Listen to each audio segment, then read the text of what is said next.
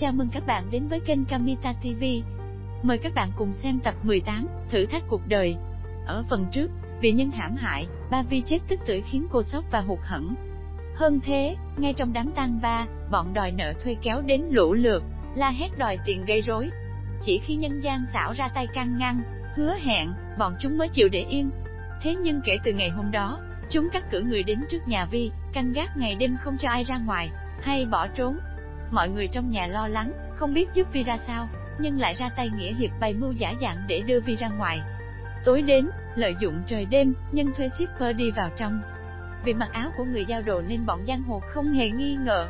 Khi vào trong, Vi chuyển sang mặc quần áo của người này để trốn ra ngoài.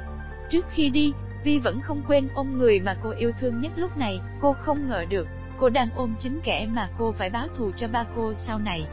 Nhân lúc bọn canh gác không để ý, Vi đeo khẩu trang chạy ra khỏi nhà. Suýt chút nữa bọn này phát hiện ra Vi, cũng may nhờ nhanh trí cô thoát khỏi bọn chúng. Vi sau đó được người thân đưa lên Tây Nguyên tránh nạn. Vi trên này cảm thấy buồn, và cô đơn, cô hàng ngày chỉ biết làm bạn với cây cảnh. Hết đi ra rồi đi vào, cô liên lạc với Nhân để tâm sự, nhưng Nhân chẳng còn thiết tha gì với cô nàng. Chẳng lâu sau đó, bọn giang hồ đã đánh hơi chỗ trốn của Vi.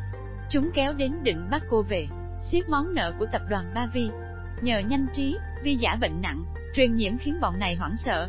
Dù biết sớm muộn cũng phải đương đầu với bọn này, nhưng Vi cố gắng tìm cách lẫn trốn để tìm đường xoay sở. Liệu bọn này có bỏ qua cho Vi? Nhưng lần này có tiếp tục cứu con gái của vị chủ tịch mà anh đã hại chết. Mọi người nhớ đăng ký để đón xem các tập tiếp theo trên Kamita TV nha.